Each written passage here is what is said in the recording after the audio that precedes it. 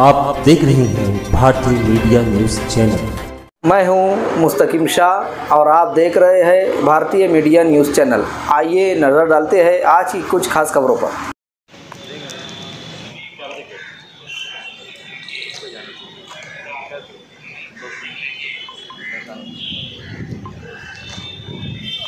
यहाँ पर हमें ऐसा पता चला है जानकारी मिली है कि सभी पावरलूम अ, एसोसिएशन के जो जिम्मेदार है उन्होंने एक मीटिंग लेके सब पावरलूम बंद करने का ऐलान किया है। ये पावरलूम अ, आठ दिन के लिए बंद रहेंगे ऐसा हमें पता चला है।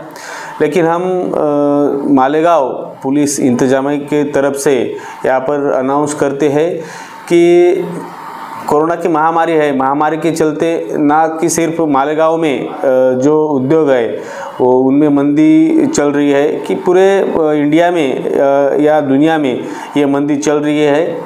तो जो भी डिसीज़न लिया गया है, यहाँ पर जो बंद का ऐलान किया है, ये यहाँ पर हम ये गाइडलाइन देना चाहते हैं कि जिसको यहाँ पर प्रॉफिट नहीं हो रहा है, जो नहीं चला पा रहा है, वो बंद कर सकते हैं अपनी अपनी मर्ज़ी से। लेकिन जो पावरलूम बुनकर कारखानदार, ये चलाना चाहते हैं, वो अपने अपने तरीके से चला सकते हैं।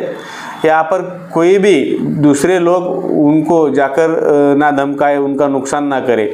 अगर ऐसा कोई करता है तो यहाँ पर पुलिस इंतजामी की तरफ़ से उनके ऊपर गुना दाखिल किया जाएगा। यहाँ पर हमने एरिया वाइज, सेक्शन वाइज पूरी तरीके से सख्त पेट्रोलिंग रखी है।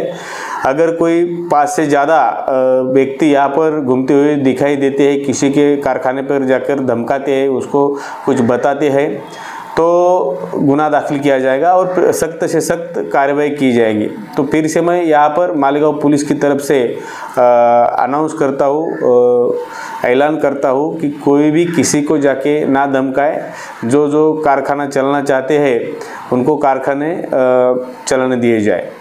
हाँ सर, दूसरी बात, शहर बंद हो जाता है तो सब लोग एम्प्टी हो जाते हैं काम हो जाते हैं, कोई काम नहीं। जिसको लेकर शहर में, रातों में क्राइम भी बढ़ जाते हैं, इसको लेकर पुलिस की क्या है? तो इसके लिए भी हमने यहाँ पर पेट्रोलिंग रखी है। और जो ये पावरलूम में जो जो इश्यूज़ है अभी जो यार्न के भाव बढ़ गए हैं, यहाँ पर कारखानदार सेल नहीं कर पाते, ये सब इश्यूज़ हमने स्टडी कर लिया है इनका। और सब पॉइंट लेकर एक रिपोर्ट डिटेल रिपोर्ट हमने बनाई है और गवर्नमेंट को हम, हमारे वरिष्ठ अधिकारियों के ज़रिए यहाँ पर भेज रहे हैं। सर, दूसरी बात मजदूर और सेठ में तालमेल बना रहे। उसके लिए आप क्या कहेंगे तो इसमें एक रात को हमने एक H D P O city के माध्यम से एक बैठक ली है वो तालमेल रखने का यहाँ पर पूरा कोशिश हम करेंगे। शहर के अंदर अभी बकरीद नज़दीक आ रही है।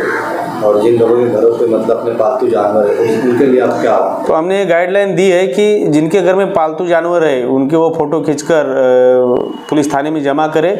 हमने पुलिस थाना वाइज सेक्शन वाइज यहाँ पर एल्बम बनाया है। बकरी ईद के बाद हम चेक करेंगे। अगर कोई ऐसे पालतू जानवर काटे जाते हैं तो उनके ऊपर सख्त सख्त जो कानूनी कार्रवाई है वो की जाएँगी।